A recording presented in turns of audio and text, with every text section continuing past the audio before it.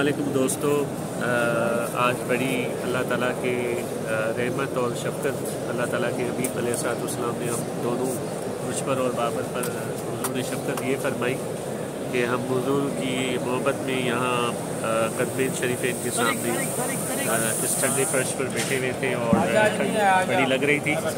लेकिन दिल में यही था कि हजूर की बारगाह में ही रोज़ा इफ्तार करना है और कदम मुबारक से हटना नहीं है। तो अलहमदिल्ला एक अरबी आया और मुझे और बाबर भाई को ये खूबसूरत से मसले दिए और कहा कि आप इन पर नमाज़ पढ़ें और इस पर बैठें।